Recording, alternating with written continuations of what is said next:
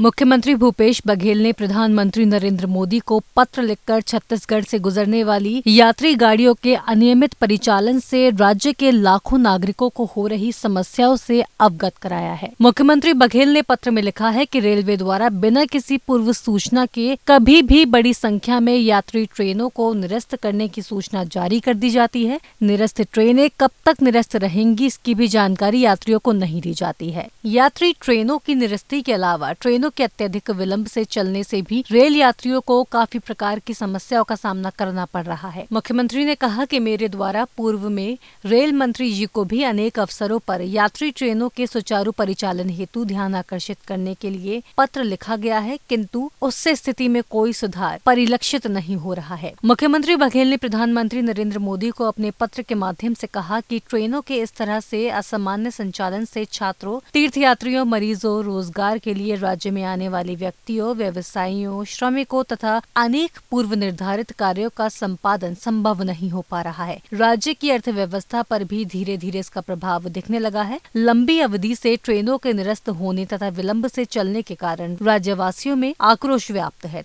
तथा जिससे सरकार और रेलवे की विश्वसनीयता पर प्रश्न चिन्ह लगने लगे हैं। बघेल ने पत्र में लिखा कि राज्य की भौगोलिक परिस्थिति के कारण छत्तीसगढ़ में ट्रेनों का घनत्व राष्ट्रीय औसत से बहुत कम है तथा दूरस्थ अंचलों में रहने वाले लोगों के लिए यात्री ट्रेनें ही आवागमन का एकमात्र सुलभ साधन है। देश के अन्य किसी भी राज्य में यात्री ट्रेनों के संचालन संबंधित इतनी अव्यवस्थाएँ संभवता नहीं होंगी। स्थिति की गंभीरता को देखते हुए आपसे अनुरोध है कि आपके स्तर से रेलवे मंत्रालय को राज्य की यात्री ट्रेनों के पूर्ववत सुचारू परिचालन सुनिश्चित करने के निर्देश देने का कष्ट करें, ताकि राज्यवासियों को हो रही समस्याओं का अंत हो सके तथा उनके आक्रोश को शांत किया जा सके।